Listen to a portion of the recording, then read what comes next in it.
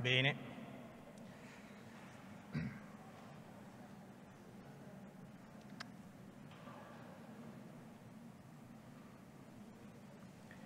Che cos'è un editore?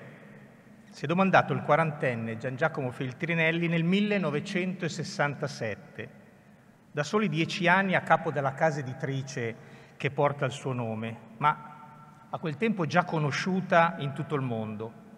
È la vigilia del 68 e sulla rivista King risponde a quella sua stessa domanda così. Non so che cosa sia l'editore, l'editore in sé, ma cerco di ascoltare le ragioni per cui faccio l'editore. E ammetto, l'editore non ha niente da insegnare, non ha niente da predicare, non vuol catechizzare. In un certo senso non sa niente e ancora ammetto, scrive sempre Feltrinelli, l'editore è una carretta, è tutt'al più uno che porta carta scritta, è un veicolo di messaggi, per parafrasare quel McLuhan di cui si parla tanto, è un fautore di messaggi che siano anche massaggi. E aggiunge, l'editore è niente, puro luogo di incontro, di smistamento, di ricezione, di trasmissione. 50 anni fa esatti, il 14 marzo, Feltrinelli viene ritrovato dilaniato dalla dinamite, ai piedi di un traliccio nella campagna di Segrate, fuori Milano. Il colonno Stringhetti per primo ha scorto il cadavere sotto il traliccio con l'aiuto di questo cane, di questo piccolo cane nero. Ci può raccontare com'è andata? Continuavo a baiare avanti e indietro, allora mi sono deciso di andare a vedere cosa c'era e ho visto questo cadavere è disteso per terra, tutto maciullato, insomma, con una gamba a distanza a 10 metri più o meno. Nella notte fra martedì e mercoledì un contadino sente un'esplosione nella campagna che circonda la sua casa, nella zona di Segrate a pochi chilometri da Milano. Non dà peso al fatto. Il giorno successivo, nel primo pomeriggio, il suo cane lo attira abbaiando verso un traliccio dell'alta tensione. Ai piedi della torre metallica c'è il corpo di un uomo morto. 41 candelotti di esplosivo del tipo Dynamon, che è un esplosivo che viene usato nelle cave di sassi per le volate delle mine, sono lì intorno e si presume subito che l'uomo sia stato dilaniato dall'esplosione dei candelotti, di una parte dei candelotti, esplosione accidentale si pensa. Ci sono i dati che insospettiscono le fotografie e altri elementi e si pensa a Giacomo Frezzinelli che vediamo in un'immagine di repertorio e la cui residenza era da tempo incerta, era stato segnalato a Parigi, ad Amburgo, eh, in Carinzia e anche in Italia. Un documento che è stato diffuso poche ore fa dalla casa editrice Feltrinelli ed è stato sottoscritto fra gli altri da Camilla Cederna, Giuliano Spazzali, Enzo Paci, Marco Fini, Paolo Portoghesi, il movimento studentesco milanese, si afferma testualmente che Gian Giacomo Feltrinelli è stato assassinato. Il documento sostiene che la criminale provocazione e il mostruoso assassinio di Feltrinelli sono la risposta delle reazioni internazionali allo smascheramento della strage di Stato nel momento in cui si dimostra che il processo Valpreda è stato costruito illegalmente e dalle indagini della magistratura emergono precise responsabilità della destra.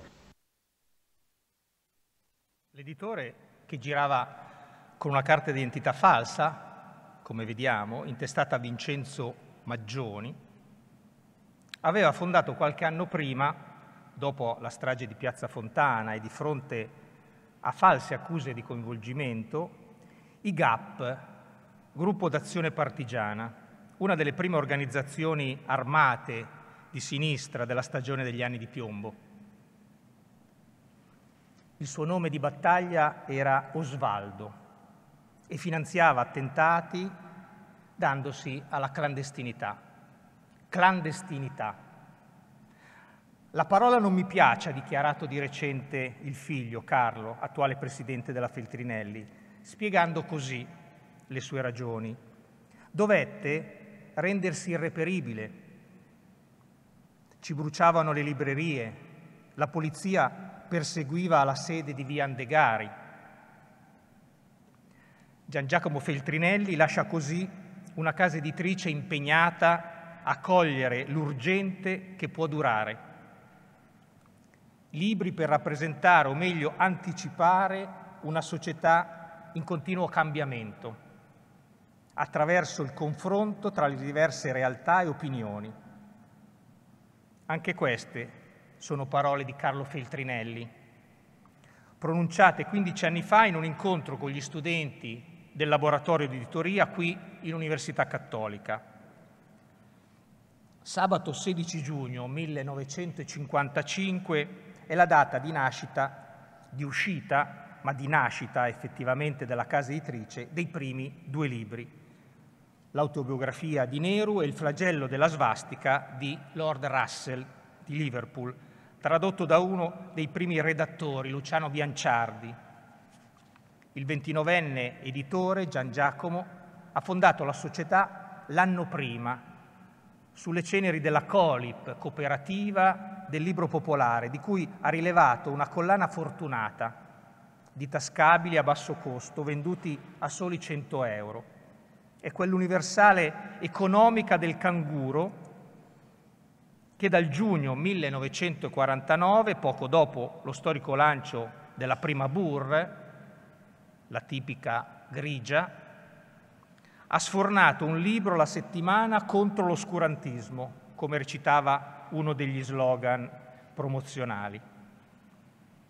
Il giovane imprenditore è forte ed è forte di un grandissimo capitale familiare. Non dimentichiamo che Feltrinelli è una delle famiglie più ricche d'Italia. Pensate che Feltrinelli è stato alla presidenza non Gian Giacomo, ma i predecessori alla presidenza della Edison, del Credito Italiano, che addirittura una famiglia che può tentare anche l'acquisto della Pietà Rondanini di Michelangelo. Gian Giacomo ha però un'altrettanta grande passione, la politica e soprattutto di ispirazione marxista, che sembra cozzare con le radici capitalistiche in cui cresce. Così, in quello stesso 1949, dà vita, su suggerimento di Togliatti, ispirato da un sacerdote amico, alla Biblioteca Feltrinelli per lo studio della storia contemporanea, del socialismo, del movimento operaio recuperando rarità storiche in tutto il mondo, che vanno a costituire un patrimonio bibliografico unico, presto divenuto di fama internazionale, e sarà la base dell'attuale Fondazione Feltrinelli. Quando vuole imprimere una maggiore incisività al suo impegno, sceglie sempre i libri e quindi decide di farli in prima persona per diffondere meglio una cultura democratica, come la chiama, e grazie all'esperienza acquisita negli affari imposta il lavoro con accortezza. Si circonda di collaboratori di qualità, da Bianciardi a Valerio Riva e Giampiero Brega, affidando poi a Giorgio Bassani una redazione romana e investe in comunicazione, acquisisce direttamente la gestione della delicata fase della distribuzione, della vendita attraverso la EDA, editori, distributori, associati, già in sue mani e con lungimiranza non tralascia le librerie. Apre la prima libreria Feltrinelli a Pisa, già nel 1957, quando inaugura anche un negozio a Milano e come i suoi libri anche le librerie sono aperte il più possibile al nuovo, ai bisogni sociali giovanili, con ampi settori dedicati ai libri economici, con uno spazio a quel tempo inusuale per quotidiani e riviste, con un angolo per sedersi, talvolta un calciobalilla, l'esperienza della biblioteca Feltrinelli con emissari e cacciatori di libri poi in tutto il mondo serve poi alla causa editoriale. E così i rapporti con il PC, sempre nel 1957, soltanto due anni dopo i primi titoli, arriva al successo ed è un caso editoriale che diventa subito internazionale, il dottor Zivago di Boris Pasternak. Glielo segnala un funzionario comunista, Sergio D'Angelo, che recandosi a Mosca per trasmissioni radio italo-sovietiche si propone come talent scout in URSS e Gian Giacomo accetta. Pubblica il dottor Zivago in prima mondiale con i diritti universali che riesce ad avere grazie a una strana legislazione sovietica che consente questo a chi pubblica per primo un testo di autore russo fuori dai confini sovietici. E lo fa però contro la proibizione del governo sovietico, che reputa Pasternak un dissidente, ma anche contro, in Italia, il Partito Comunista, il suo Partito Comunista, in cui Gian Giacomo Feltrinelli milita e di cui è finanziatore e con cui ha avviato la sua carriera imprenditoriale. È il primo vero bestseller internazionale del dopoguerra, subito tradotto in 26 lingue e l'anno dopo frutta al suo autore il premio Nobel, al quale però deve rinunciare per le ostilità delle autorità russe. La vicenda degna di un romanzo, compreso l'intervento della CIA, del KGB, è raccontata con passione e lettere inedite da Carlo Filtrinelli nella biografia del padre intitolato dalla marca di sigarette inglesi che fumava, Senior Service, e da pochi giorni questa nuova edizione con un appendice molto ricca e stimolante, tra l'altro con una bellissima lettera alla terza moglie Inge.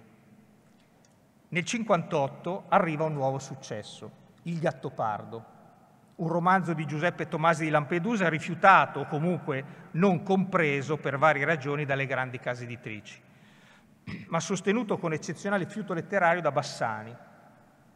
E questo libro diventa un altro giro del mondo per il giovane editore, anche grazie alla trasposizione cinematografica sul grande schermo firmata da Luchino Visconti con il celebre ballo a donna fugata di Bar Lancaster e Claudia Cardinale, posta poi in una edizione del tascabile. In pochi anni Feltrinelli arriva a cogliere grandissime soddisfazioni, più grandi non poteva immaginarle. Vendite da capogiro, visibilità internazionale, come pochi altri grandi editori italiani hanno raggiunto e solo dopo decenni di attività. Lui subito, nel giro di pochi anni. Ma non c'è soltanto narrativa pur scelta da lui come documento e testimonianza di epoche, culture, umanità. Nell'ascesa bruciante di Gian Giacomo Feltrinelli c'è anche molta saggistica, c'è la scienza e in particolare c'è attualità politica, dalla quale è sempre più attratto. E infatti si avvicina a gruppi estremisti, a esponenti della rivoluzione, prima di tutto in Sud America, e poi a Cuba dove incontra Fidel Castro e con lui progetta una sua autobiografia, naufragata però dopo alcuni anni.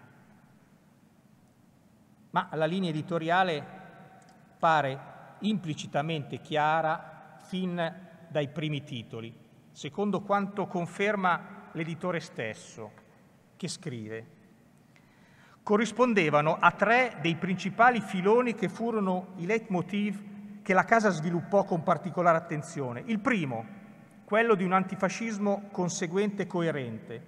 Il secondo, quello di una forma di coesistenza tra paesi di diverse strutture economiche e politiche, che, e questo era il terzo filone, non accettasse la cristallizzazione dell'allora esistente geografia economico-politica, ma presupponesse la possibilità per le forze nuove del terzo mondo, dei paesi che uscivano da una dominazione coloniale, di trovare un proprio assetto e di inserirsi con forza nel sistema politico mondiale. Lo dichiara introducendo il catalogo dei primi dieci anni, nel 1965. Però la valenza sociale del progetto traspare anche dalla veste editoriale dei libri come bene immateriale e durevole, aderente sempre a un impegno forte, senza veli, senza mediazioni, quasi impresa diretta, almeno nei primi anni, grazie alle proposte grafiche di un grandissimo grafico impegnato come Albert Steiner.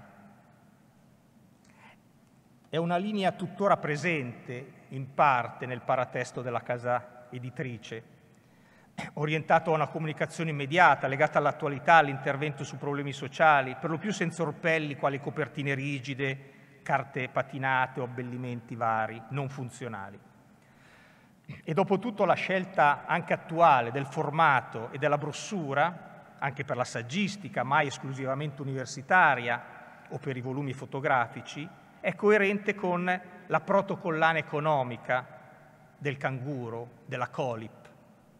Lo stesso può dirsi per l'uso delle immagini delle copertine che dimostrano fin dai primi anni, rispetto a modelli vicini di editoria di cultura come i Naudi, secondo quanto ha storicizzato Giancarlo Ferretti, una maggiore aggressività nella conquista degli autori, nell'uso della pubblicità, nella strategia complessiva, una più diretta militanza politica, una più moderna sensibilità aziendale, un più giovanile senso dell'attualità che ne rappresentano al tempo stesso le novità e i limiti.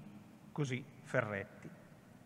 Più vicino alla Feltrinelli rispetto all'Einaudi sta forse il saggiatore, nel segno dell'innovazione senza remore, dell'apertura culturale a 360 gradi, per fare catalogo delle nuove idee negli anni 60, aggiornando lo stato del sapere di questo Paese come recita il catalogo del decennio iniziale. Ma accanto al fenomeno letterario pensiamo anche al fenomeno del gruppo 63, vediamo delle realtà particolari, e cioè delle realtà grafiche molto forti. Se noi guardiamo il catalogo del primo mezzo secolo, abbiamo 6.643 titoli, suddivisi in 113 collane e si nota una certa discontinuità che però, a ben vedere, è la vitalità traboccante di un grande catalogo, come si legge nella premessa. E all'interno di questa vitalità discontinua c'è, sempre per stare al paratesto e alla grafica, la collana dei narratori di Feltrinelli e la biblioteca di letteratura e soprattutto c'è qualcosa di molto particolare, e cioè la collana dei franchi narratori. Una grafica innovativa, svolta su tutte e quattro le parti, di copertina, quarta e risvolti di prima e, e di quarta. La grafica è di Silvio Coppola, per descrivere una realtà irregolare attraverso una letteratura impura. Un nome per tutti, padre padrone dell'ex pastore sardo Gavino Ledda, un grande successo. E ancora altre collane dalle impronte che vogliono lasciare un segno, almeno per quanto riguarda la narrativa, la saggistica dei volumi della collana I fatti e le idee, saggi e biografie, la cosiddetta FISB, all'attualità, altra collana che ha ospitato i primi due titoli della casa editrice, il cui chiaro titolo, attualità, testimonia come Feltrinelli si sia affacciato al mondo della cultura con una particolare attenzione rivolta ai problemi più vivi del nostro tempo.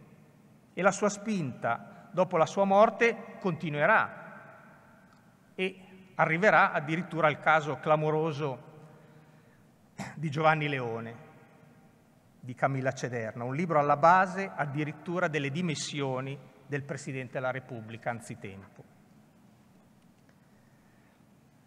Ma accanto ai vari fenomeni come il gruppo 63 non vanno dimenticate altre collane come attualità scientifiche, saggi scientifici, filosofia della scienza, diretta dal 1960 da Ludovico Geimonat, nei primi anni editoriali, con una funzione pionieristica in un paese come il nostro culturalmente arretrato su questo versante editoriale. E anche la battaglia della censura rientra in questo discorso, ben rappresentata dall'edizione clandestina stampata in Svizzera da Casa Grande, venduta sotto banco di Tropico del Cancro di Harry Miller. E la letteratura resta comunque una bandiera, sempre più sudamericana grazie alle conoscenze di Inge Schoenthal Feltrinelli. È la terza moglie di Gian Giacomo, già giornalista, fotoreporter di servizi famosi ed esclusivi su Hemingway, Picasso, Greta Garbo.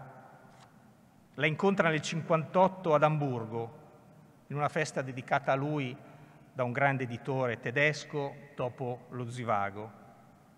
E lui è lì, dopo il successo dello Zivago, ed è diretto al Polo Nord in tenda con la bozza del gattopardo nello zaino.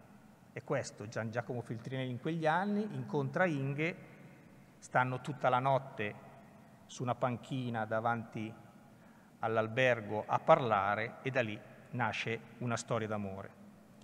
E il frutto più emblematico del rapporto di Inghe, editoriale, delle sue suggestioni, delle sue proposte, sta proprio nella, nell'avvicinamento della Feltrinelli all'America Latina.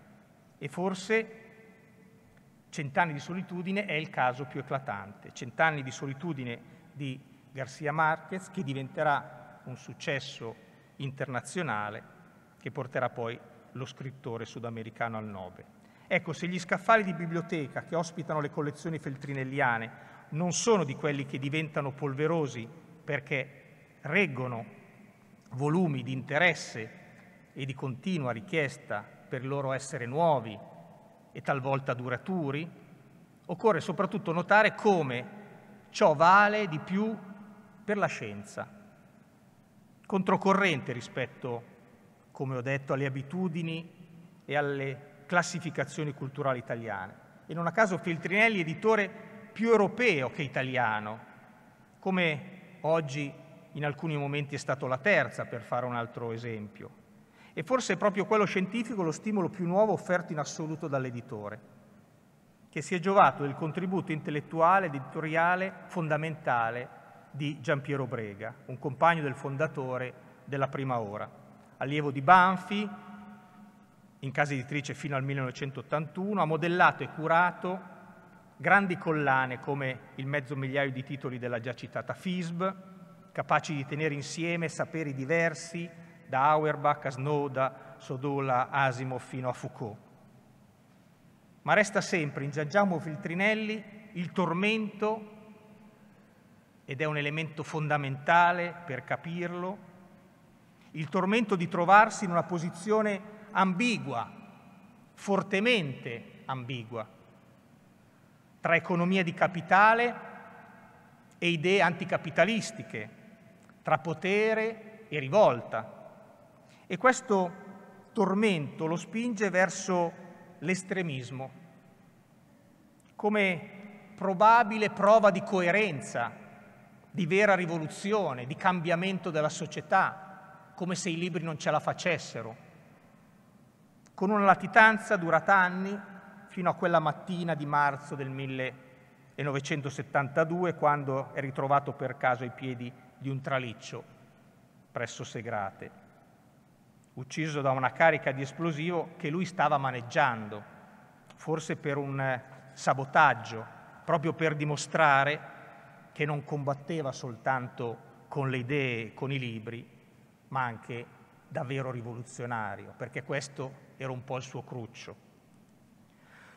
Così commenta Inge. Lui finanziava gruppi di sinistra in tutto il mondo, palestinese, eccetera, per questo lui era un uomo scomodo, scomodo per tutti, cioè meglio morto è così.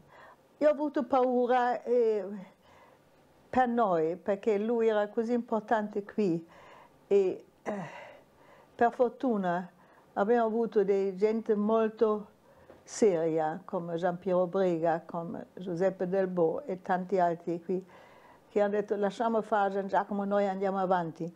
Non mi hanno lasciato soli sola, per questo io non sono io la brava, so, siamo stati tutti molto bravi di non andare in fondo.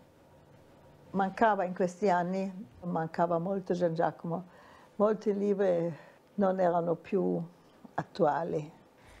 Facciamo libri anche sbagliati in questo tempo, la mutazione della gioventù era talmente veloce, il 68, che tanti nostri libri politici si erano già datati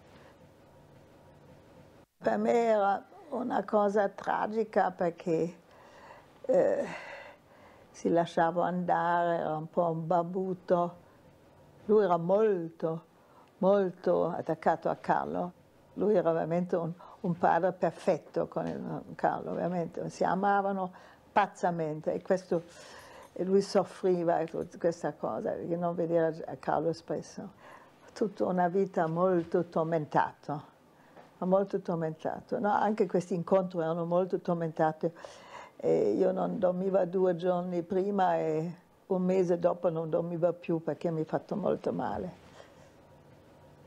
Un amore così non si può mai riprendere, come una, una grande malattia. E questo è anche bello, c'è una base indistruttibile, a parte del figlio, il lavoro e, e cose fatte insieme. È una cosa importante. Io sono anche molto grata che quando siamo visti l'ultima volta prima della morte siamo come stati come intimi amici del, del primo anno. È vero, ho scritto una volta per me.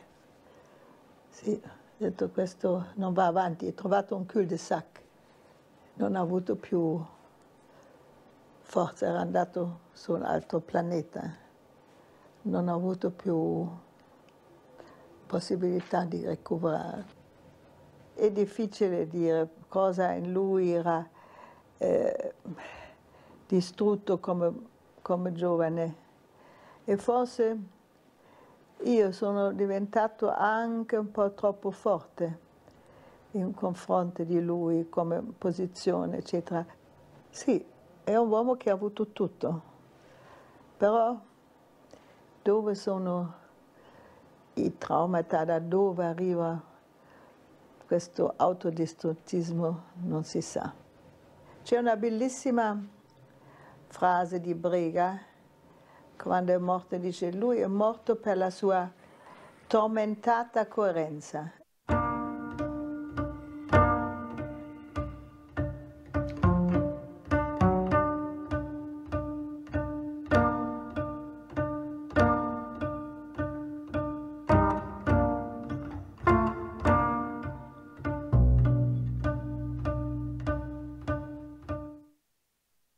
Il 14 marzo ho avuto un appuntamento con lui e con Carlo in fronte alla piazza principale a Lugano. L'idea era di partire alle, alle tre e alle tre Giacomo non è arrivato. Sono stata sfinita, ho detto questo non è possibile. Sono partito per Milano per Carlo voleva la sua partita che era alle 5. E la sera c'era una serata di Gaia Olente per Paolo Grassi. C'era Roberto Olivetti, un grande amico. Ho detto, come sei così? Ho detto, ma io sono molto, molto triste perché Giacomo non è venuto. Io ho paura che sia successo qualche cosa. E la mattina io ho aperto il giornale, il Corriere la Sera, non c'era Gian Giacomo ancora, c'era un morto così, la foto, io ho capito subito, il nome, come si chiama, Oscar o così, nome finto. Io ho visto lui, è lui, senza nome perché non sapevano chi è. Io non credo nessuna versione ufficiale, c'è qualcosa tutto diverso.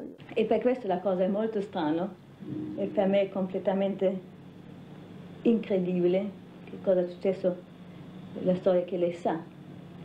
Perché abbiamo aspettato la sei ore a figlio Carlo e io a Lugano e Giacomo non è venuto, non è venuto però è già morto. Non, non ho capito, non credo niente e, e sarà uno di tanti dai, dai Borgia in poi misteri italiani e non mi, mi lascio convincere da nessuno.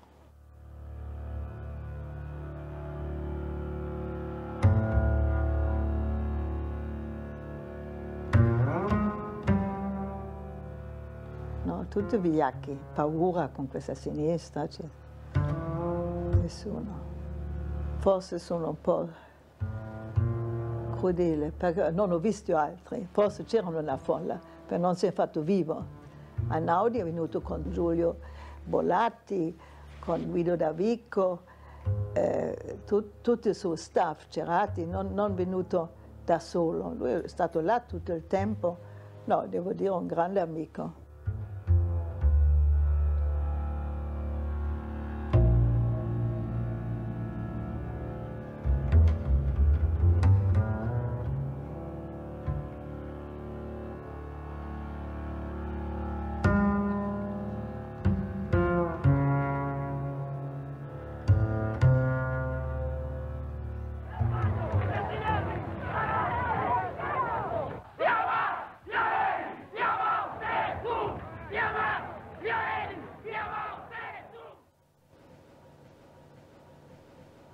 Lui è stato molto coccolato e eh,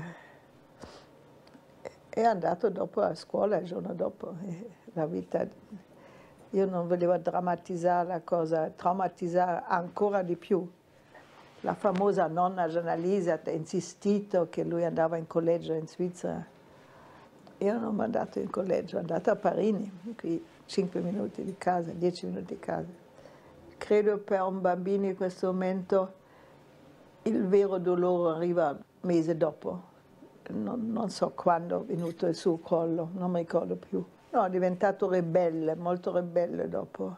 Era giovane, quasi, appena dieci anni. Si deve superare la tragedia, no? Si, si deve avere un, una forza e, um, di superare la tragedia. Si, si deve ricordarsi che la vita va in onde, sia un po' basso, però va subito, o non subito qualche volta, però lentamente si alza di nuovo. Per questo mh, mm, eh, tutte le tra tragedie danno una enorme forza, importante. Tommaso Maldonado è mio compagno da tutti questi anni e dopo la morte di Gian Giacomo mi ha aiutato moltissimo, ha aiutato molto la casa editrice. Lui è un studioso della cultura tecnica e lui è un uomo molto razionale, un uomo di tanto interesse e di un rigore totale. Era per me importantissimo da avere questa colonna morale e mm, anche per Carlo perché è stato molto critica con Carlo in tante cose della sua vita e si amano molto e questo è molto bello. Quando abbiamo grandi problemi parliamo con Tomas. Tomas è un, una roccia di nostra famiglia, così si può dire.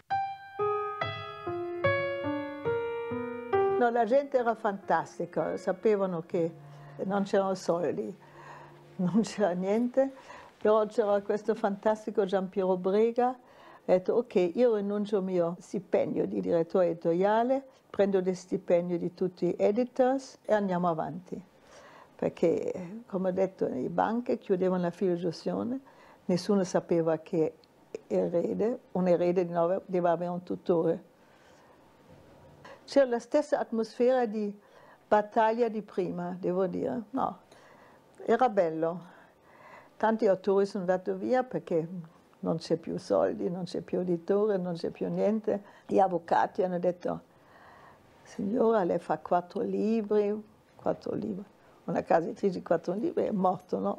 Però siamo stati costretti di licenziare 25 persone e questo è una, devo dire, uno dei momenti più dolorosa e triste della mia vita.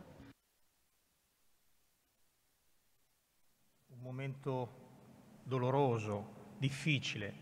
Ed è lei, la terza moglie dell'editore, Inge, che assume la carica di presidente della casa editrice dove ha sempre lavorato con grande passione, comunicazione, stile, mettendo in dialogo la letteratura italiana e quella internazionale, con una con un talento straordinario in questo senso e difendendo sempre come una tigre l'istituzione in una situazione tanto dura e difficile, con una capacità di rigenerazione.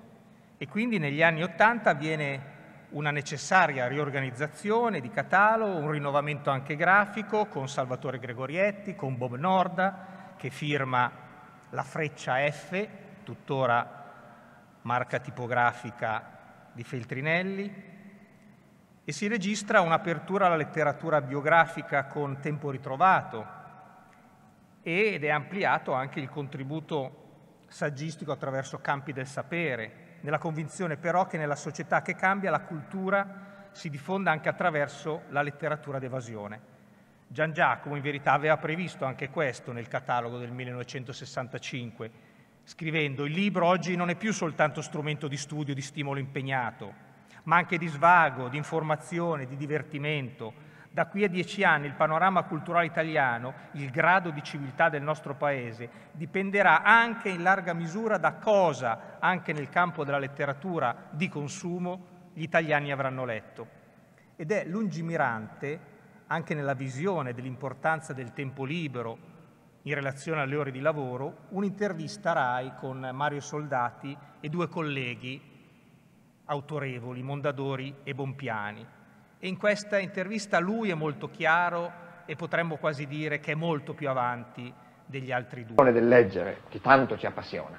Credo che le iniziative prese da alcuni editori italiani, tra i quali quelli qui presenti, Mondadori col Pavone, Pompiani coi Delfini e io con l'Universale Economica Feltrinelli, di produrre cioè delle collane a bassissimo prezzo non sia sufficiente per risolvere il problema che ci assilla.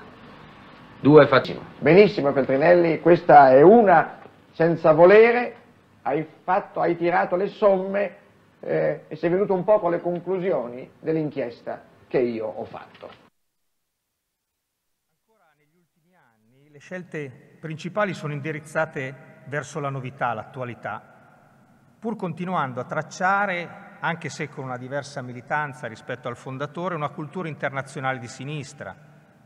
Negli ultimi anni, ad esempio, si tenta di comprendere sul nascere la rivoluzione digitale con la collana Interzone nel 1995, anche a, dispetto delle basse vendite, e non si vuole perdere di vista il contesto globale in cui, pur di fronte al crescente abbandono della materialità del supporto cartaceo, che diventa prima DVD, poi TV, podcast, si continua però a comunicare attraverso la mediazione editoriale, quella forza immateriale che è dentro la parola. Questa laica vocazione si ritrova non a caso nella prima e più longeva collana che resta emblematica di passato e presente della casa editrice, perché rappresenta un bene in forma e contenuto, tipici della storia di oltre 60 anni intriso di futuro, ed è proprio l'Universale Economica, con i suoi oltre 2000 titoli dove si mescolano saggistica, narrativa, tradizione, attualità, generi ed età. Ognuno di noi ha in mente più di una lettura targata Feltrinelli ed è anche arduo forse scegliere un titolo che rappresenti più di altri, che sia un modello della storia del marchio, anche se forse il dottor Zivago resta unico. Ma potrebbe anche esserlo secondo Inge Feltrinelli, sotto il vulcano di Malcolm Lowry, o il Pinelli della Cederna, e più di recente Novecento di Baricco per alcuni, o un titolo di Banana Yoshimoto, di Benny o di Serra. Tuttavia nell'editoria di oggi, dove le distinzioni tra sigle sembrano quasi sparire, sotto questo marchio si trovano, come in poche altre sedi, quella attualità politica e alcuni autori indiscutibilmente di scuderia che il lettore identifica subito con Feltrinelli e coi suoi tascabili. Pensiamo a Isabella Allende, e quindi siamo all'inizio degli anni Ottanta, quando esce la sua Casa degli Spiriti, oppure Saramago, di lì a pochi anni, e poi pensiamo al fenomeno Pennac, e siamo negli anni 90, e quindi ad autori italiani di culto come Antonio Tabucchi ed Henry De Luca. E la riconoscibilità è anche nello stile e ancora nello stile delle librerie, come era stato all'inizio. Librerie che hanno reinventato un'editoria per tutti, non tanto il prodotto ma il servizio, come aveva immaginato Gian Giacomo alla fine degli anni 50 e soprattutto per i giovani, diventando la prima catena italiana di libri e non solo. Feltrinelli oggi è un gruppo che impiega 2.000 persone, che vende 17 milioni di copie l'anno, con 118 librerie e un milione e mezzo di utenti social, con varie partecipazioni in case editrici, attività anche straniere come Anagrama, di recente anche nel settore scuola e di learning, quindi education. Esistono libri necessari, amava sostenere Gian Giacomo Feltrinelli, e proprio per questo parlare di una casa editrice come di un bene pubblico non è azzardato, anche perché non è stata tradita quella genuina lealtà illuminista con cui non si cambia il mondo ma si può sempre comunicare e aggiornare il significato della parola uguaglianza, come ha detto il suo erede Carlo. E potremmo aggiungere a uguaglianza oggi purtroppo anche la parola pace. Se si comunica in un catalogo, piccolo o grande che sia, queste parole, questi valori, allora siamo di fronte a un bene pubblico, come l'ho chiamato, che lo Stato dovrebbe valorizzare e sostenere, come purtroppo anche in questo momento di difficoltà per la filiera editoriale non sta facendo. C'è qualche speranza? Che cos'è un editore?